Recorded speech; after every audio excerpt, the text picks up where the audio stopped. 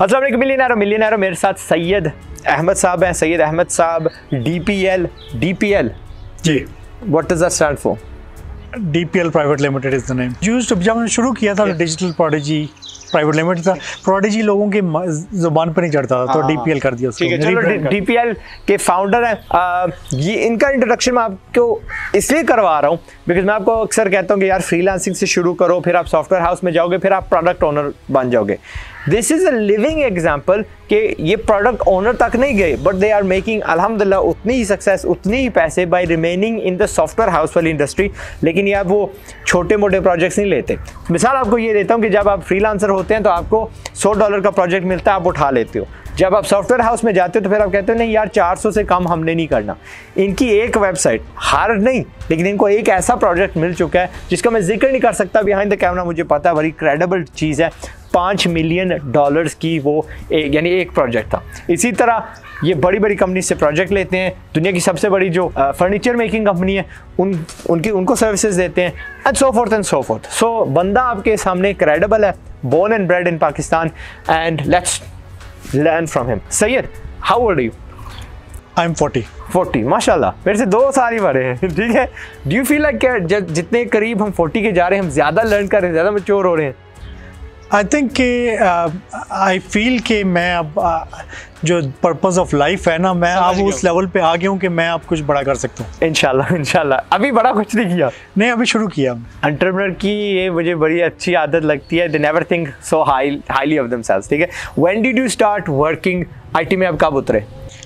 मैं तो जब मैं डिग्री कर रहा था बी एस कंप्यूटर साइंसेज तो पहले सेमेस्टर से ही मुझे याद है कोई लड़के आए बड़ी किसी दूसरी यूनिवर्सिटी से सर्वे करने के आपने किसने क्या करना है तो लोगों को नहीं पता था।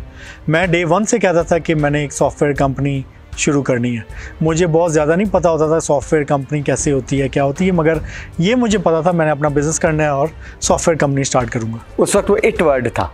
सॉफ्टवेयर हाउस हाँ है और मैंने भी एक सॉफ्टवेयर हाउस खोलना है। शुरुआत कैसे की? Did you start as a freelancer या उस वक्त फ्री लांसिंग के मौके नहीं होते थे? And how old were you so I was a student still और आ, आ, मुझे याद है कि फ्री लांसिंग के भी प्लेटफॉर्म्स उस तरह से नहीं थे अभी ई लांस वगैरह जैसे अब हैं।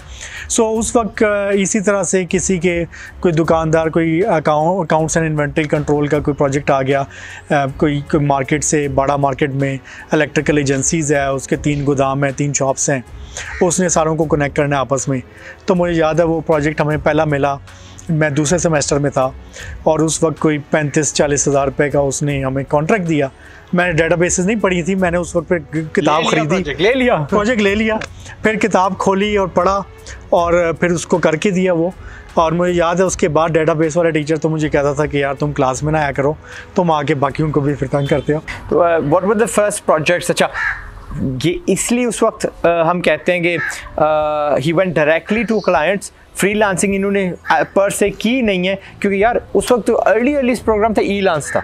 ई लांस फिर फ्रीलांसर ने खरीदा था, ठीक है? ये 2000 की बात कर रहे हैं 99 की बात कर। रहे हैं ठीक है? मैंने भी मैंने आपको बताया था मैंने फ्रीलांसिंग कब शुरू की थी? 2000 2001 में। उस वक्त मैंने भी आपको बताया कि यार फ्रीलांसिंग साइट्स थी नहीं। मैं भी डायरेक्ट भाई गूगल पे वो मेरा पेज रैंक करता था लोगो बनाना है बैनर बनाना है अच्छा जी कैरेक्टर बनाना है कोई वेबसाइट बनानी है। तो वेबसाइट मैंने संभाल ली थी। हल्के फुल्के बैनर्स भी मैं कर लेता था। कैरेक्टर मैं किसी पीटर बंदा था कैरेबियन में। जिससे आज तक मैं मिला नहीं, ठीक है? पैंतीस डॉलर उसको देता था पेपल के थ्रू और सत्तर डॉलर अगले को चार्ज करता था, अल्लाह हर सलाह। जो आप भी कर सकते हो, वो क्या होता है कि ऑर्डर लिया, उसको भेजा, वो मुझे भेजता था, आगे दिखा दिया, जो बेसिकली मॉडल होता है सॉफ्टवेयर हाउस का। एंड देन करते करते एवेंचुअली क्योंकि मेरे हाथ गंदे हो रहे थे, मैं सीखे जा रहा था, मैंने अपना प्रोडक्ट खोला देना यू नो द रेस्ट मेरी तो आप जानते हैं, इक्कीस साल की उम्र में दरा बिके में डॉलर में लेना है इन्होंने क्या किया? इन्होंने कहा अच्छा जी तगड़ी से तगड़ी और पार्टी ढूंढते हैं। टू द पॉइंट वन यार, मुझे अगर ये शेयर करने देना वो बड़े बड़े नाम तो बड़ा मज़ा है बट क्या है कि कॉन्फिडेंशियलिटी कोई चीज़ होती है क्लाइंट्स बुरा मान जाएँगे, उन्होंने भी इनको हायर किया हुआ है फॉर दैट रीज़न लेकिन, मुझे tell us about the Indian IT industry और हमारी आईटी इंडस्ट्री और इसमें ग्रोथ कितनी पोटेंशियल है। हम कितने करते हैं, वो हमसे कितने गुना ज़्यादा करते हैं गिव अस दैट इन्फोसिस की, और जो एक एक कंपनी की मिसाल दें प्लीज़ सो आईटी सर्विसेज़ जो है मेरे ख्याल में पाकिस्तान ने बहुत मिस किया इसमें। इंडिया इस वक्त 150 अरब डॉलर एक्सपोर्ट्स करके कमा रहा है आईटी सर्विसेज़ से। और एक एक कंपनी ऐसी है जो कि पंद्रह पंद्रह अरब डॉलर दस दस अरब डॉलर एक कंपनी एक्सपोर्ट कर रही है जो दस दस लाख उनके एम्प्लॉयज़ हैं। तो तो इसी तरह फिलीपींस में कॉल सेंटर्स के थ्रू तीस अरब डॉलर कमा रहे हैं। सो so, मेरे ख्याल में हमारे जो मुल्क में बहुत बड़ा पोटेंशियल अभी तक हम लोगों की कंपनियाँ वॉरन टेरर की वजह से वो ग्रोथ नहीं मिल सकी। और आपको यहाँ पे सबसे बड़ी कंपनी होगी वो चार पाँच हज़ार एम्प्लॉज़ तक मैक्सिमम है। मगर पोटेंशियल ये है कि एक एक लाख बंदे की कंपनी दस कंपनियाँ कम अज़ कम पाकिस्तान में हो सकती हैं। इन्फोसिस की जो इन्होंने बात की वो हमारा गवर्नमेंट हमें रिपोर्ट करती है कि हम टू बिलियन आईटी से कमाते हैं। That mean Infosys alone seven times हमसे ज़्यादा अकेली एक कंपनी उनकी कर रही है। पूरे पाकिस्तान की एक्सपोर्ट में ला लें तो उनकी एक कंपनी उतनी हाँ, कर रही है। माशाल्लाह। दैट ये नहीं है कि हमने जलना है उससे। हमने कहना मारो हम भी कर सकते हैं। वही चमरी वही खून वही ज़बान वही सारा कुछ हम भी उतना कर सकते हैं। दैट शुड एक्साइट यू कि यार पोटेंशियल कितनी ज़्यादा है इस इंडस्ट्री में। आपने कहा कि 150 बिलियन वो लोग करते हैं। एज अ कंट्री हम लोग टू बिलियन करते हैं सो यानी पचहत्तर गुना हमसे ज़्यादा पोटेंशियल है ना। और वो भी रुके नहीं है, उनकी ग्रोथ रुकी नहीं है। इट्स कॉन्टीन्यूसली एक पैंतीस, एक पचास तक हुआ है। तो हम भी इंशाल्लाह वो हिस्सा ले सकते हैं।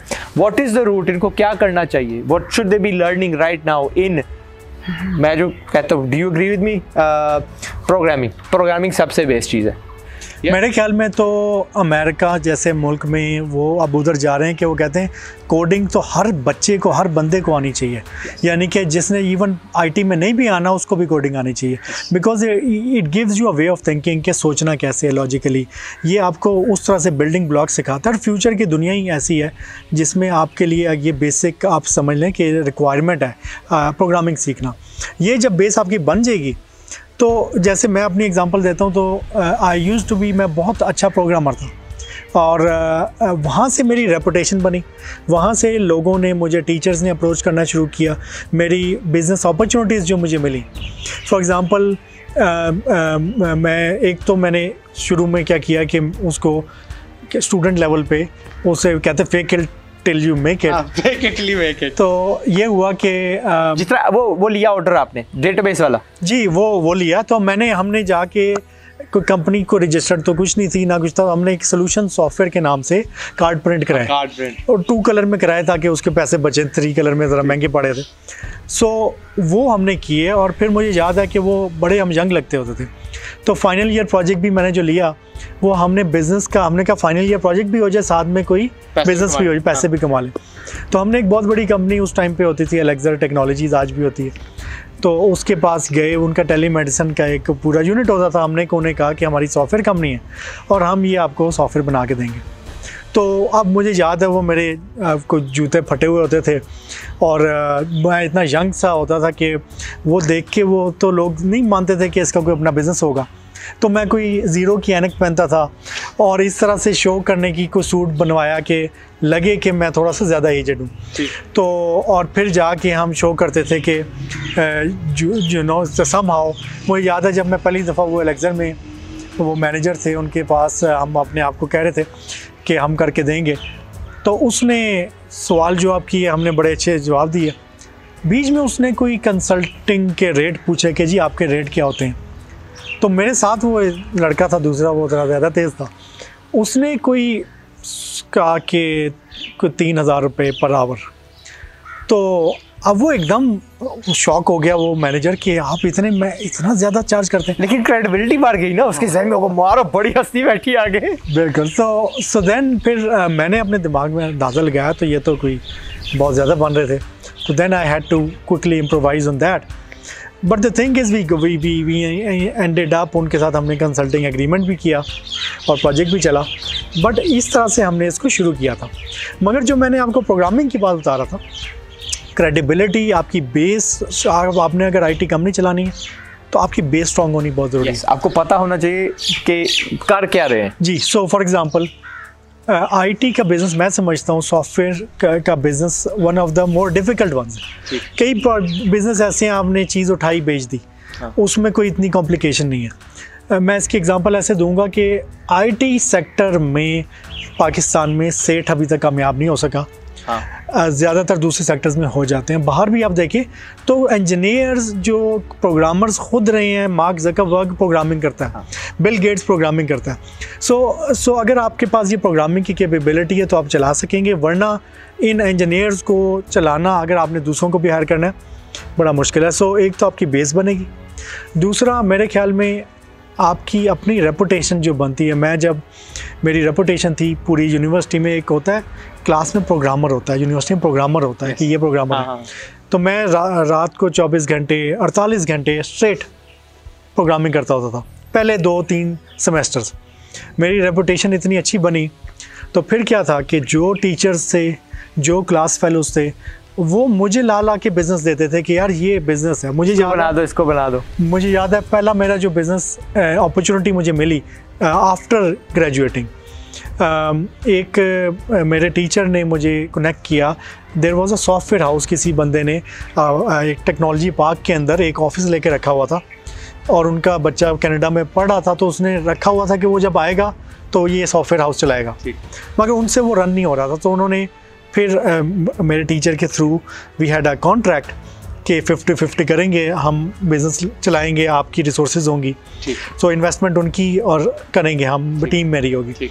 सो so, इस बेसिस पे हमने शुरू किया और वो मेरे वही again as a programmer reputation होती है तो लोग आपको रेफ़र करते हैं। टीचर्स और आपके दोस्त यार सब जानते हैं कि आप प्रोग्रामर हैं। तो वो आपके पास आते हैं अपॉर्चुनिटीज़ के लिए। एट वॉट एज उस वक्त आपने क्या हो गया? अठारह उन्नीस बीस इक्कीस बाईस होगी। हाँ जी at what point in your life did you hit the million dollar वाला? And when did you think के मैं ख्याल में छः छः साल पाँच छः साल आ, हमने शुरू में बिल्कुल आ, वो जो टेली मेडिसिन एक प्रोडक्ट बनाई। It was ahead of its time वो 2002 में। उस वक्त उसका बिज़नेस मॉडल नहीं था पाकिस्तान में। एक हमने उसके ऊपर हमें अवार्ड मिले। वो इवन नासा और ministry of science and technology का एक प्रोजेक्ट था टेलीमेडिसन का हॉली हाँ। फैमिली के साथ। उसको हमने बिड किया विन किया उसके ऊपर बहुत मगर वो फिर उससे फिर हमें ये हुआ कि वो उस टाइम पे बिज़नेस मॉडल नहीं था एनजीओ फंडेड होती थी चीज़ें। सो एन एनजीओ फंड अब भी पाकिस्तान में है ना हेट एनजीओ फंडेड वो हमें ना काहिल करे टुंडे कर रहे हैं। हाँ उसमें रियल उसकी जो नेचुरल स्केल नहीं होता जो जो बिज़नेस की प्रॉफिटेबिलिटी अलाउ हाँ. करती है ग्रो करना और एक हेल्दी एक प्रोडक्ट को तो at that time business model नहीं था तो वो हमने फिर एक साल डेढ़ साल वो वो किया उस वक्त इनक्यूबेटर भी नहीं होते थे हाँ. कोई ऐसी चीज़ गाइडेंस नहीं होती थी कि हमें बिज़नेस साइड को भी देखना है कैसे मार्केट होगी क्या बिज़नेस प्लान होगा तो उसके बाद फिर हमने सर्विसेज़ की तो मैं ख्याल पाँच छः साल के अंदर we we reach the point के हमें लगा कि यार अब पैसा पैसा खुद ही बन रहा है सो रहे हैं पैसा बन रहा है तो बस। माशाल्लाह माशा सक्सेस पिटमी ऑफ़ सक्सेस ये होती है कि आप सो रहे हो और आपका पैसा बन रहा है। यस माशाल्लाह सो थिंक हम्बल बिगिनिंग छः साल लगते मैंने आपको कहा था मेरे नौ साल लगे हैं। इनके छः साल लगे हैं। बट डू एक्सपेक्टेड रातों रात आप पैसे नहीं कमाओगे। जो बैठ जाते हैं ना भाई मेरे कुछ कोर्स करने वाले आते हैं बच्चे हैं and I spoken to few other institute वो समझे मैं आ जाऊँगा पैसे मैंने दे दिए और मुझे कोई मेहनत नहीं करनी और बस मैं कुछ चीज़ बन जाऊँगा। एक इम्पोर्टेंट लेसन है। हाँ। जब हमने शुरू किया मुझ मैंने आपको बताया एक टेक्नोलॉजी पार्क में एक छोटा सा ऑफ़िस था वो हमारी पार्टनरशिप हुई। वो पाँच छः महीने बाद हमारी टीम की आपस में कोई खटपट हो गई तो वो वो हम दो में ब्रेक हो गए। हाँ। तो उनके साथ फिर हमारा कॉन्ट्रैक्ट ख़त्म हो गया। वो बाय द वे जिनसे खटपट हुई वो भी एक और सॉफ्टवेयर कंपनी चल रही है माशाल्लाह। अल्लाह उनको तो, भी दे बहुत। हाँ, आमीन। तो वो फिर व्हेन वी केम बैक तो मैंने हम तो वो गैराज कंपनी का कॉन्सेप्ट था कि घर में बैठो तो अपने ड्राइंग रूम में खोल के बैठ गए। में आ, क्या कहते हैं क्यों नहीं बहुत ज़्यादा सक्सेसफुल कंपनीज़ हमारे गराजेस ही नहीं है। हाँ गराज हमारे ड्राइंग रूम होते हैं घरों में। तो ड्राइंग रूम कंपनीज़ हमारी जो होती हैं वो we we started drawing room company हमने वो टेबल लिए सात आठ हज़ार पे लिए लड़कों से कहा कि अपने अपने कंप्यूटर ले आओ। तो बस वो सस्ते से हमने शुरू कर दिया। पैसे नहीं थे हमारे पास। आ, मुझे याद है हमने एक आ, कुछ लोगों को इंटरव्यू के लिए बुलाया इंटर्नशिप के लिए। तो वो जब एड्रेस देखते थे एक मोहल्ले का पिंडी के अंदर तो वो लोग कहते थे यार ये तो प्रोफेशनल कंपनी नहीं लग रही। तो ये पता नहीं कौन से इंटरव्यू के लिए नहीं आते थे लोग। फिर आ, मुझे याद है क्लाइंट था जर्मनी का उसने हमारा पहले अवामी वो जो अवामी मरकज़ था टेक्नोलॉजी पार्क वो ऑफ़िस देखा हुआ था। ये टेक्नोलॉजी पार्क की बात करें मैं बीच में काटने वाला हूँ। You are also in charge of the government I T park something in charge नहीं है लेकिन आपने कुछ हिस्सा लिया था उसमें। पार्ट ऑफ़ योर जो prime minister task force on I T and telecom में आई टी को मैं चेयर करता हूँ और उसमें हमने स्पेशल टेक्नोलॉजी जोन्स का एक कॉन्सेप्ट इंट्रोड्यूस कराया है जो कि अब उसकी अथॉरिटी भी बन गई है और वो ताकि बाद में आप लोग अपने मोहल्लों से निकल के अपने बैठकों से निकल के एक्चुअली पार्क्स में काम करो। But you have to ensure कि उसके किराए सस्ते हैं for these guys I know that four two six two ten maybe fifteen बंदों की टीमें जो है ना सस्ती होनी चाहिए। मैं तो खुद अपना एक्सपीरियंस है मेरा क्योंकि जब वो हमने काम किया वो फिर एक एक टेक्नो वो वो एक जर्मनी से क्लाइंट आना था। हाँ। उसको जिस दिन आना था मैंने एड्रेस दिया तो वो गायब हो गया। अब वो रास्ते से ही उसने जब देखा कि ये किस एड्रेस पे ये कोई कंपनी है तो वो तो बंदा ही गायब हो गया फ़ोन भी बंद हो गया। वहाँ से फिर हमने कहा कि ये this address is not working for us तो फिर हमने सोचा बात की तो हमें ये समझ आई कि उसको कहते गो विद द फ्लो तो फ्लो ये था कि यहाँ के लोगों की सोच ये है कि जो अच्छी कंपनी वो है जो अच्छे एड्रेस पे है जो ब्लू एरिया में है जो ऐसी बड़ी गाड़ी से उतरता हाँ और और फलानी जगह टेक्नोलॉजी पार्क में तो जी सिर्फ़ इंटरनेशनल कंपनियाँ होती हैं। तो वो लोगों का ऐसा माइंडसेट जब हमने देखा तो वी डिसाइडेड कि यार लेट अस फाइंड आउट कि इस्लामाबाद में सबसे बेस्ट एड्रेस कौन सा है। वो अवामी मरकज़ का उस टाइम पे था बिल्कुल पार्लियामेंट के सामने। तो हमने कहा कि यार यहाँ पे जाके देखते हैं वहाँ किराया पता किया सोलह हज़ार रुपये किराया था उसका। उस वो- ज़माने में, उस ज़माने हाँ। जी 2002 में मगर वो सब्सिडाइज था। असल उसका किराया शायद चालीस हज़ार होगा वो उस वक्त की गवर्नमेंट ने सब्सिडी दी थी। मगर सोल सोलह हज़ार अब हम बैठ के सोच रहे थे कि यार सोलह हज़ार हर महीने करने पड़ेंगे हो जाएँगे कहाँ से आएँगे? हमारे पास तो एक रुपया नहीं था। तो मुझे याद है मेरा मेरा भाई था उसने कहा कि कि हम अब घर में बैठे हैं। स्केल दिखाता हूँ आपको। उस ज़माने में अगर आप मिड लेवल के गवर्नमेंट एम्प्लॉई थे तो आपकी तनख्वाह तीन से चार हज़ार रुपये थी। उससे आप अंदाज़ा लगा लें कि सोलह आज का क्या बनता होगा? आगे दो ढाई तीन लाख रुपए। आई वुड से या दो लाख। हाँ।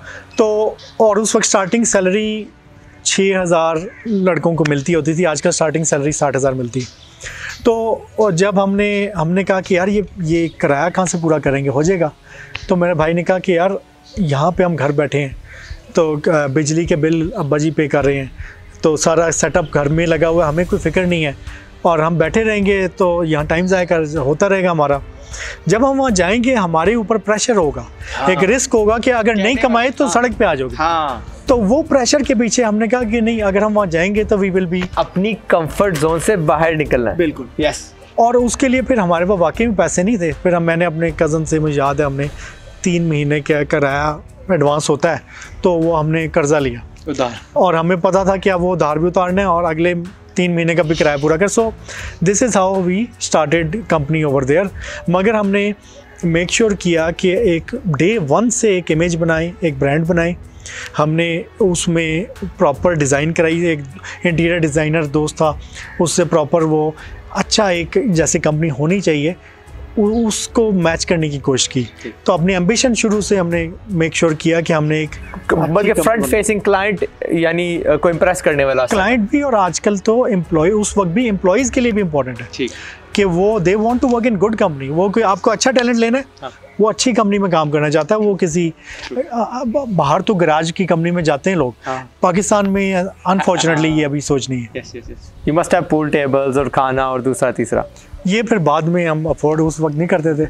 उस वक्त तो एक एक इंच में कोशिश करते थे कोई कुर्सी रखी हुई डेवलपर की और पूरा ऑफ़िस और मुझे याद है उस वक्त हमारा सोच अब तो हम एजाइल कंपनी है फ्लैट कल्चर है। उस वक्त मुझे याद है एक छोटा सा कमरा था वो। और मतलब दस बारह लोगों का टोटल कमरा होगा वो। अब वो लड़के जो जॉब के लिए आते थे वो कहते थे कि यार ये तो बस एक नज़र में ख़त्म हो जाती कंपनी तो अच्छा सीईओ को ये सीईओ सामने बैठा है। अच्छा तो ये तो उनको लगता था कि ये कोई इतनी वैल्यू नहीं सीईओ सी होगी वैल्यू नहीं। तो फिर मुझे याद है वो छोटा सा वो कमरा था पहले उसमें एक और कमरा छोटा कमरा बनाया हमने सीईओ का ताकि वो बताए जी वो सीईओ का कमरा वो है और ये बाकी कंपनी इंटरव्यूज़ पे होते हैं। सीओ साहब बड़े इंपॉर्टेंट काम कर रहे हैं। जेम्स खान की आपने ऑफ़ कैमरा बात की थी उन्होंने भी आपको याद है ना पॉल माल एक तगड़ा ड्रेस है लंदन में वहाँ पे समझ लें कि डेढ़ मीटर की जगह उन्होंने ली जहाँ पे पहले कोई आ, क्लीनिंग प्रोडक्ट्स रखे जाते थे बाड़ियाँ मांझे रखे जाते थे उन्होंने वो किराए पे ली सिर्फ़ और सिर्फ़ क्लाइंट्स को इम्प्रेस करने के लिए। लेकिन क्या होता था जैसे ही कोई बंदा नीचे आता था ओ यार ऊपर सारे मीटिंग रूम्स जो है ना बिज़ी है मैं कैफ़े में जाके मीटिंग कर लेता हूँ। So you use that strategy माशाल्लाह। मूविंग ऑन ठीक है? How many employees do you have today close to hundred माशाल्लाह ठीक है? It's a lovely journey do you foresee yourself के आगे हम कोई प्रोडक्ट खुद का बनाएँगे? या समझ लेंगे हम सर्विसेज़ ही प्रोवाइड करते रहेंगे? आई यू कंफर्टेबल देखिए, मैं ये समझता हूँ कि प्रोडक्ट में अगर आप यू नो लेट से आप पाँच मिलियन डॉलर कमा रहे हैं, दस मिलियन डॉलर कमा रहे हैं तो आप पाँच बिलियन डॉलर तक भी जा सकते हैं। और सर्विसेज़ में बहुत हाई एंड पे जा सकते हैं। You can make so much कि एक प्रोडक्ट कंपनी की वैल्यूएशन अगर सिर्फ़ वैल्यूएशन एक अरब डॉलर की है तो आप हर साल इतना रेवेन्यू कर सकते हैं, इतना पोटेंशियल है। तो पहली बात तो ये है कि मेरे ख्याल में एक गलती जो हमारे लड़के करते हैं कि वो एक ही टाइम पे प्रोडक्ट और सर्विसेज़ दोनों करने की कोशिश कर रहे होते हैं। उससे क्या होता है प्रोडक्ट की सोच बड़ी फ़र्क है।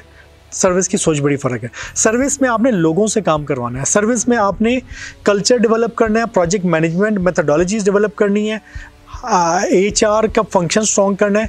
ये चीज़ें आपको प्रोडक्ट में नहीं चाहिए स्टार्टअप्स में नहीं चाहिए। इसमें आपको इंजीनियरिंग फोकस ज़्यादा, खुद मैंने काम करना है और उसमें मार्केट टेस्टिंग उस तरह की चीज़ें ज़्यादा इंपॉर्टेंट होती हैं।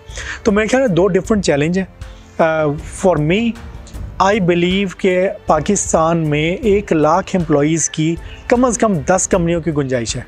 अभी तक तो एक भी नहीं है। तो I want to be that one of those ten companies that will be a billion dollar revenue earning company through I T service वैसे कितना मुश्किल फाइंड करते हैं to actually hire new people I T sector में पाकिस्तान में? uh, बहुत बड़ा challenge है। इस वक्त सबसे बड़ा मसला ये है। लोग कहते हैं कि uh, मतलब पच्चीस हज़ार ग्रेजुएट निकल रहे हैं। इंडस्ट्री कहती है कि जी पाँच हज़ार भी उस लेवल पे नहीं है कि उन्हें हायर किया जा सके। पाँच हज़ार के एक हज़ार नहीं है। नहीं जितने है। मेरे काम करने वाले हैं मेरे साथ मेरे टीम मेंबर्स थे और बेडरूम कोडर्स बेडरूम कोडर्स हम पता है किसको कहते हैं? जिन्होंने घर बैठ के फ्री में यूट्यूब पे सीखा फ्री में आ, वो क्या कहते हैं free code camp dot org से सीखा वगैरह वगैरह। खुद सिखाया अपने आप को और वो काबल हो गए। ठीक है? And I am sure you find it very similar यानी इसी सिचुएशन में। इस वक्त ये है कि आप कह लें कि इंडस्ट्री में सबसे बड़ा मसला ये है कि अच्छे लोग काम के लिए नहीं मिलते। इसका मतलब है इतनी जॉब अवेलेबल है जितने लोग हो सकते हैं। हाँ। अगर इस वक्त एक लाख तगड़ा आईटी पर्सन पाकिस्तान में उतर आए तगड़ा नॉट मीन के उसके बाद आईटी की डिग्री है एक्चुअली उसको काम आता हो they will instantly be observe और पाकिस्तान के लिए बेहतर होगा। और वो जो लाखों वाले आप बात करें लाखों वाले सॉफ्टवेयर हाउसेस वो तभी बनेंगे जब we have that work force बिल्कुल। ठीक है? तो you're working on the park government park पे काम कर रही है ताकि फैसिलिटीज़ टेक्नोलॉजी जोन पे। टेक्नोलॉजी जोन पे मैं काम कर रहा हूँ ऑन माई ट्वेंटी मिलियन जो मैंने इनशाला प्रोफेशनल्स बनाने हैं आर बंदे बनाने हैं सो इनशाला द फ्यूचर इज़ ब्राइट ठीक है? लेकिन आपको बनना है। मैंने नहीं बनना। I am not going go program and so forth and so forth you guys have to learn अपने अपने सॉफ्टवेयर हाउसेस खोलने हैं अपने आप के जो स्किल हैं बेहतर करने हैं सो यू इधर part of become a part of a team और you run your own team इंशाल्लाह। कोई एडवाइस इनके लिए? यार पहली एडवाइस तो ये है कि आप वो करें जो आप जिसके बारे में पैशनेट हैं। ठीक है सीखें। कई लोगों को नहीं पता होता मैंने ज़िंदगी में क्या करना है।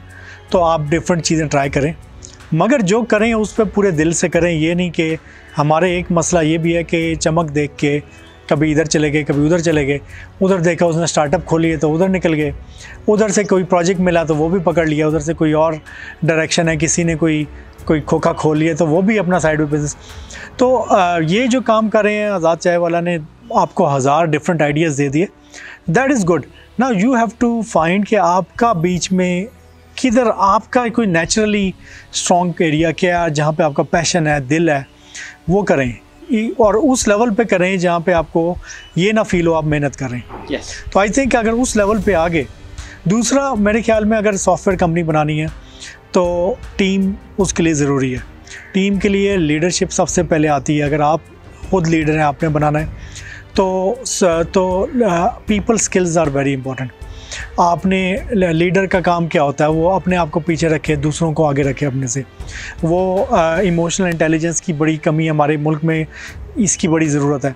सो पीपल स्किल्स अच्छी होनी चाहिए। लोगों के साथ साफ़ नीयत के साथ काम करें।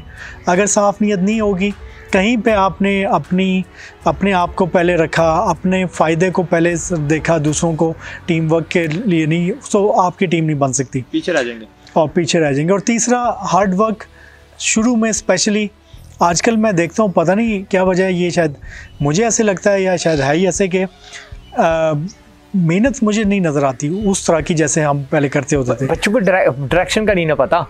जब डायरेक्शन इनको मिल जाएगा रास्ता बता देंगे अच्छा जी किधर जाना है फलां जगह जाना है ये रास्ता लो। तो वो भाग लेंगे उस पर बिल्कुल। ऐसे बच्चों की कोई कमी नहीं है।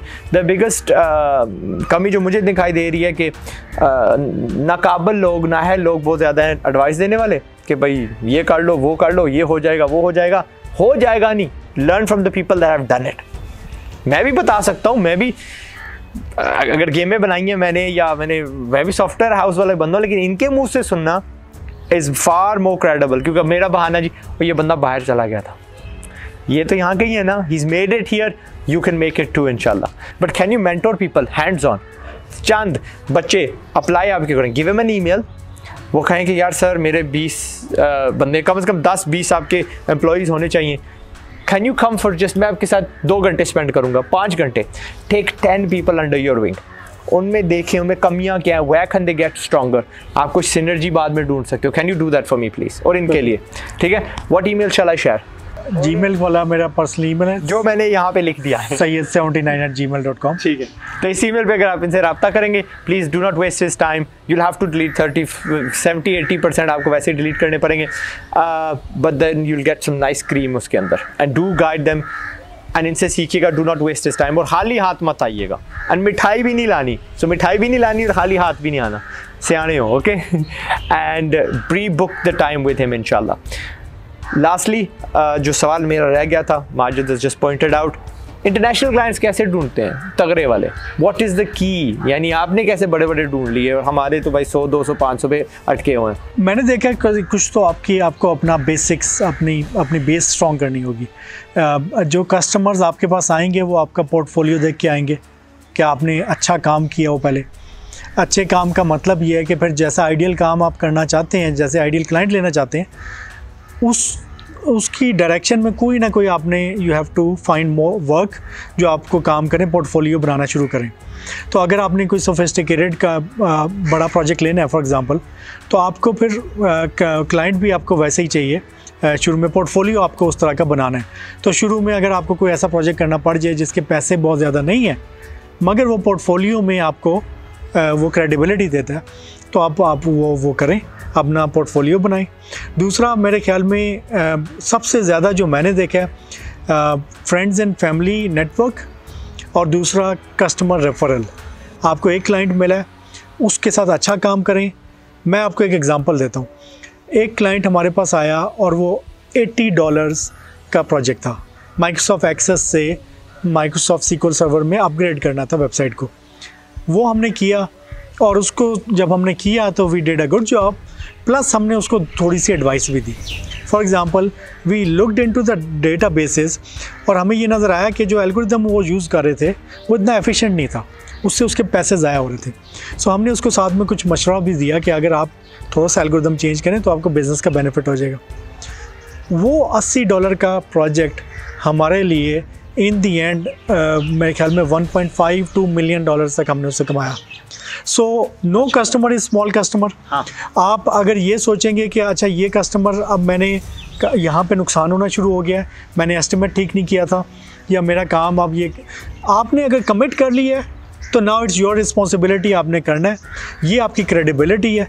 और ये एक साल दो साल आप क्रेडिबिलिटी बनाएँगे अपना पोर्टफोलियो बनाएँगे फिर आप देखेंगे कि वही कस्टमर्स आपके लिए ऐसे रेफरेंस लाएँगे और ऐसा फ्रेंड्स एंड फैमिली नेटवर्क आपका जो कस्टमर्स आपकी रेपुटेशन की वजह से लेके आएँगे।